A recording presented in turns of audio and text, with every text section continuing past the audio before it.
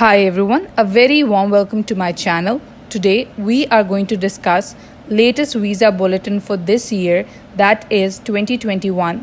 The visa bulletin is issued by travel.state.gov every month.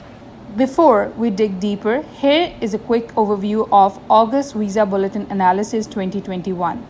The visa bulletin for August did not bring much of a surprise for the applicants. In general, even though no retrogression was seen, however, the advancement was minimum.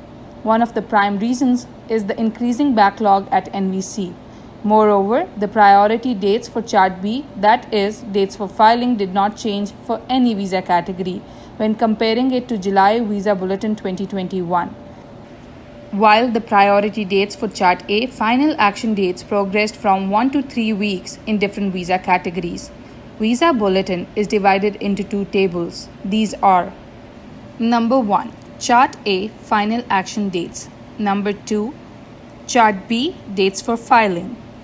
Chart B Dates for Filing represents those priority dates who can proceed with the National Visa Center stage.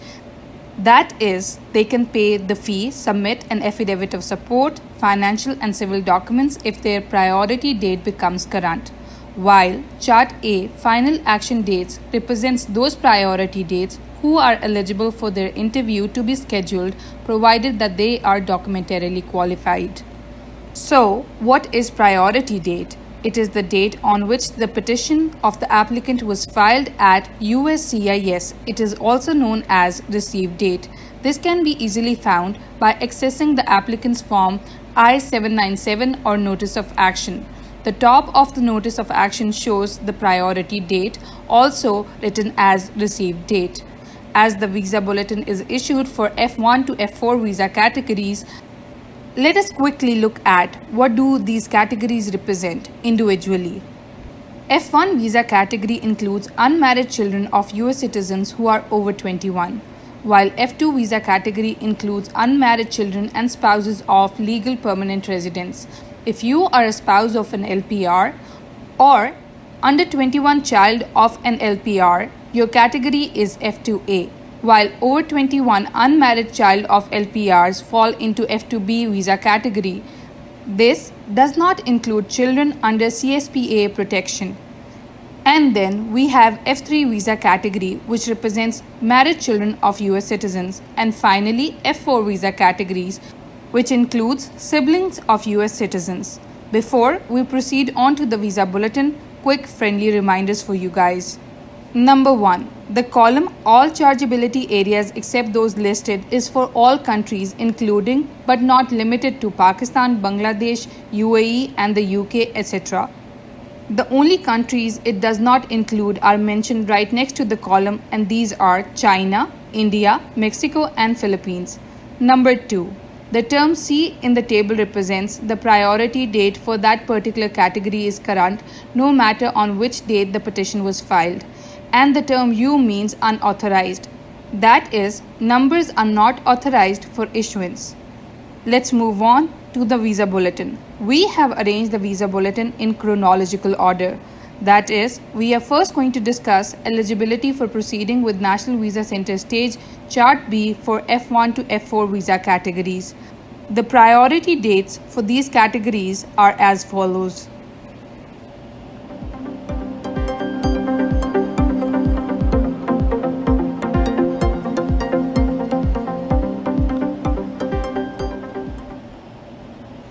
Next, we are going to talk about eligibility for the interview to be scheduled if you are documentarily qualified.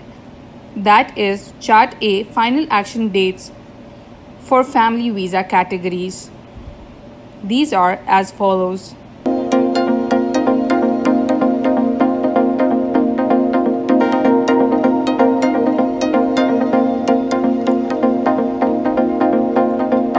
While we are discussing visa bulletin, let us take a quick look for chart A as well as chart B for employment based visas.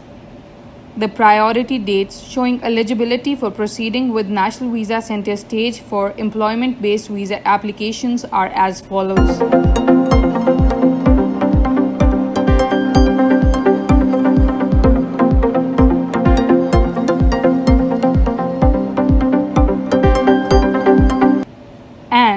Eligibility for interview to be scheduled if you're documentarily qualified or Chart A is as follows.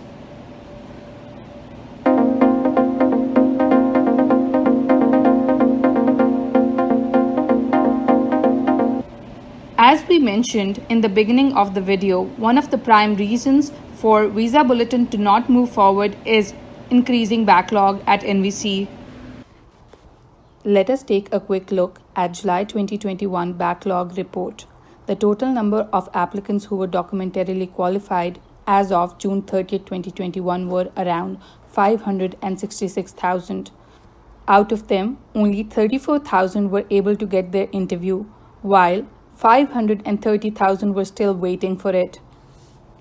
If we compare this report with June 2021 backlog report, what we notice is that about 4,000 interviews were more scheduled in the month of July 21 However, the number of eligible IV applicants still pending the scheduling of interviews after July 2021 appointment scheduling was about 25,000 more than as compared to June 2021 pending interviews. At the same time, the number of IV applicants whose cases were documentarily complete at NVC and ready for an interview as of June 30th were about 30,000 more.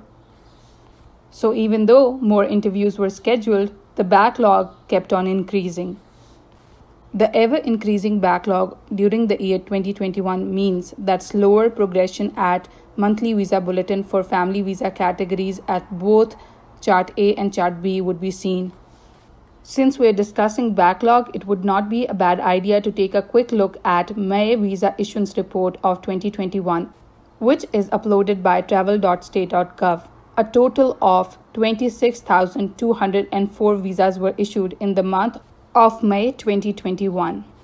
A lot more visas from CR1, IR1, IR2, IR3, and IR4 categories were issued as compared to family visa categories, which are F1 to F4. We have attached some visa issuance reports for different countries for your reference.